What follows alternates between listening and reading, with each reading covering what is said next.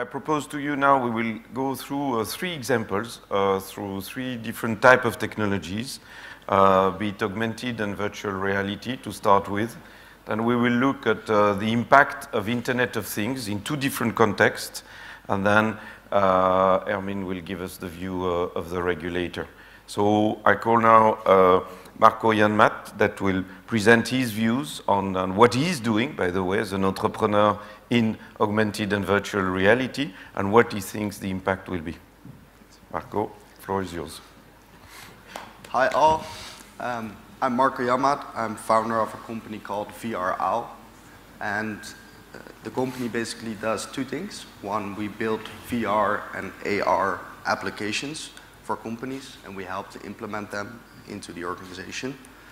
And two, we have built an urban planning tool, which uh, allows us to generate uh, 3D maps from geographical data and translate them into virtual reality. So we can show people their future environment. We can show what happens if a windmill is placed into their environment. We can show what happens to the traffic.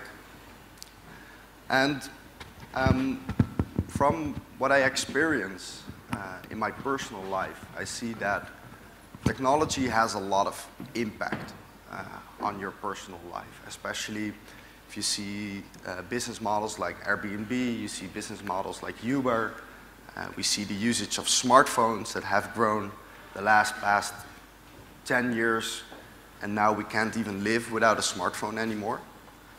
Um, but if I see the experience from my professional life, I noticed that working with governments in urban planning and working with municipalities, um, we are always busy with the current status of technology. So we are always looking at, okay, how should we regulate or handle the current fields of technology or how should we regulate or handle the current playing fields. And the moment we try to talk to them or open up and connect with them on a level to see, hey, what, where are we in five or 10 years? Um, there's always quite a big gap between the technology world on the one hand and the governance world on the other hand. And to give you, I want to, just want to give you a small example of that. Um, who of you expects to have a smartphone in 15 years? So if you have a, who of you expects to have a smartphone in 15 years, please raise your hand. Okay I see half of the room. So the other half. What, have you ever thought about what is going to replace your smartphone? So from what we note is that this discussion, okay, how is this replacement of smartphone going to look like and how is this going to impact me?